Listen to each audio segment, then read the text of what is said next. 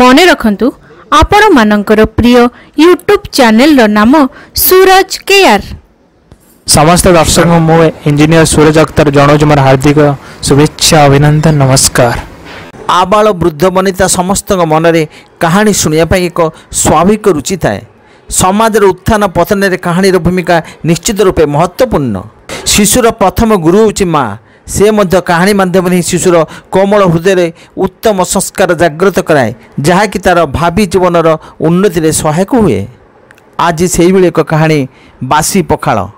କାହାଣୀ ବାସି ପଖାଳ ଶ୍ରଦ୍ଧେୟ ସ୍ୱାମୀଜୀ ଶ୍ରୀ ରାମସୁଖ ଦାସଙ୍କ ପ୍ରବଚନରୁ ସଂଗୃହୀତ। ସଂକଳନ ରାଜେନ୍ଦ୍ର କୁମାର ଧବନ କଣ୍ଠଦାନ ଟିକିଅପା। ବାସି ପଖାଳ। ଯୁବକଟିଏ ରୋଜଗାର କରୁନଥାଏ। ପିତୃ ଅର୍ଜିତ ଧନ ଖର୍ଚ୍ଚ କରି ନିଶ୍ଚିନ୍ତରେ କାଳ କାଟୁଥାଏ। ସମୟକ୍ରମେ ତାର ବିବାହ ହୋଇଗଲା। ପରିବାରରେ ଆଉ ଗୋଟିଏ ମୁଣ୍ଡ ବଢ଼ିଲା। ତା ମା ମନରେ ଚିନ୍ତା ଯେ ବସି ଖାଇଲେ ନଈବାଲି ସରେ। ପୁଅ କିଛି କାମଧନ୍ଦା କରୁନାହିଁ। ତଥାପି ପୁଅକୁ କ'ଣ ବା କହିବ? ପୁଅକୁ ଖାଇବାକୁ ଦେବାବେଳେ କେବଳ ଏତିକି କହେ ନେ ଏଇ ବାସି ପଖାଳ ଗଣ୍ଡକ ଖାଇଦେ। ପୁଅ ଭାବେ ଆଶ୍ଚର୍ଯ୍ୟର କଥା। ଗରମ ଭାତ ବାଢ଼ି ଦେଉଛି ଅଥଚ ବାସି ପଖାଳ କହୁଛି। ଏଭଳି କଥାର ରହସ୍ୟ କ'ଣ?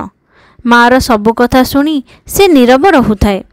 ଦିନେ ତା ମା କୌଣସି କାମରେ ଅନ୍ୟ ଗାଁକୁ ଯିବାକୁ ବାହାରିଲା। ଯିବାବେଳେ ସେ ବୋହୂକୁ କହିଗଲା ପୁଅ ଆସିଲେ ଭାତ ବାଢ଼ି ଦେଇ କହିବୁ ବାସି ପଖାଳ ଗଣ୍ଡାକ ଖାଇଦିଅ ଶାଶୁ କହିବା ଅନୁସାରେ ବୋହୂ ସ୍ୱାମୀଙ୍କ ପାଇଁ ବଢ଼ାବଢ଼ି କରିସାରି କହିଲା ବାସି ପଖାଳ ଗଣ୍ଡାକ ଖାଇଦିଅ। ସ୍ତ୍ରୀ ମୁହଁରୁ ଏକଥା ଶୁଣି ସେ ରାଗରେ ତମତମ ହୋଇ କହିଲା ମା ଠାରୁ ଶିଖି ତୁ ବି ମୋତେ ଥଟ୍ଟା କରୁଛୁ? ମା ସିନା ସବୁଦିନ କହୁଥିଲା କିନ୍ତୁ ଦେଖୁଛି ତା ଠାରୁ ଶୁଣି ଶୁଣି ତୋର ବି ସାହସ ବଢ଼ିଗଲାଣି। ଏକ ବିଶେଷ ସୂଚନା। ନମସ୍କାର। ଏତଦ୍ୱାରା ସମସ୍ତ ବିଦ୍ୟାର୍ଥୀମାନଙ୍କୁ ସୂଚାଇ ଦିଆଯାଉଛି କି ଆପଣମାନେ ନୂତନ ଦର୍ଶକ ହୋଇଥିବାରୁ ପ୍ରଥମେ ନାଲି ଅକ୍ଷରରେ ଥିବା ସବସ୍କ୍ରାଇବ୍ ବଟନ୍ଟିକୁ ଟିପନ୍ତୁ। ତାପରେ ସବସ୍କ୍ରାଇବ୍ ପାଖରେ ଥିବା ବେଲ୍ ଆଇକନ୍ ଘଣ୍ଟିଟିକୁ ଦବାଇ ଦିଅନ୍ତୁ। ଶେଷରେ ଅଲ୍ ଲେଖା ହୋଇଥିବା ଘଣ୍ଟିଟିକୁ ଟିପି ଦିଅନ୍ତୁ। ଏଭଳି କରିବା ଦ୍ୱାରା ଆପଣ ଆମର ସମସ୍ତ ଶିକ୍ଷା ପ୍ରୋଗ୍ରାମ ଦେଖିପାରିବେ। ଏଭଳି କହିବାର ଅର୍ଥ କ'ଣ? ଭାତ ଡାଲି ତରକାରୀ ସବୁ ତ ସଜ। ପୁଣି ତୁ ବାସି ପଖାଳ କହିଲୁ କାହିଁକି? ସ୍ତ୍ରୀ କହିଲା ଏକଥା ତୁମ ମା ଜାଣନ୍ତି। ସେ ମୋତେ ଯାହା କହିବା ପାଇଁ କହିଥିଲେ ମୁଁ ସେତିକି କହିଦେଲି। ଯୁବକଟି କହିଲା ଠିକ୍ ଅଛି ମା ଆସୁ ଆଜି ଏଇ କଥା ତା ଆଗରେ ପଡ଼ିବ। ଏତିକି କହି ସେ ଖାଇବା ଥାଳି ପାଖରୁ ଉଠି ଚାଲିଗଲା। ମା ଘରକୁ ଫେରି ବୋହୂକୁ ପଚାରିଲା ପୁଅ ଖାଇସାରିଲାଣି? ବୋହୂ କହିଲା ସେ ଖାଇବେ କ'ଣ? ମୋ କଥା ଶୁଣି ତ ରାଗି ନିଆଁ ବାଣ।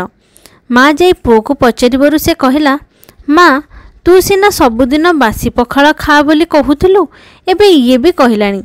ତୋ କଥା ସହିଯାଉଥିଲି ବୋଲି କ'ଣ? ୟା କଥା ମୁଁ ସହିବି? ମୁଁ କିଛି ବୁଝିପାରୁନାହିଁ ଯେ ଏଇ କଥାର ରହସ୍ୟ କ'ଣ?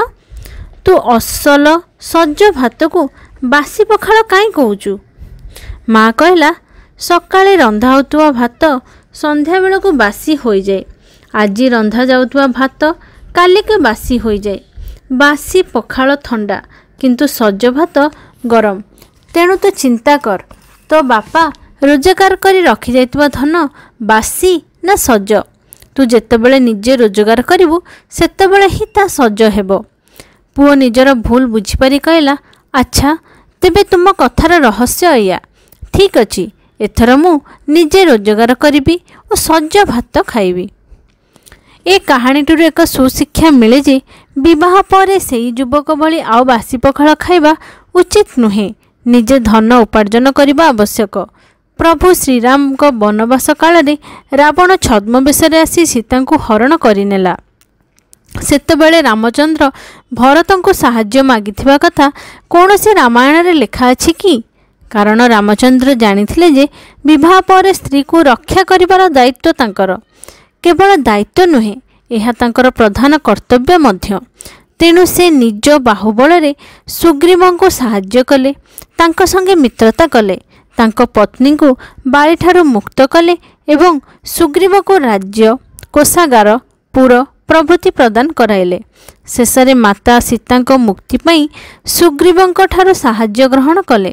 ତେଣୁ ସ୍ତ୍ରୀ ପିଲାଙ୍କ ପାଳନ ପୋଷଣ କରିବା ଭଳି ଶକ୍ତି ଥିଲେ ବିବାହ କରିବା ଉଚିତ ହେବ। ଅନ୍ୟଥା ବିବାହ କରିବା ଶୋଭନୀୟ ହେବ ନାହିଁ। ସମସ୍ତ ଯୋଗାଯୋଗ ପାଇଁ ଆମର ହ୍ୱାଟ୍ସଅପ୍ ନମ୍ବର ହେଲା nine four three seven one three three one zero seven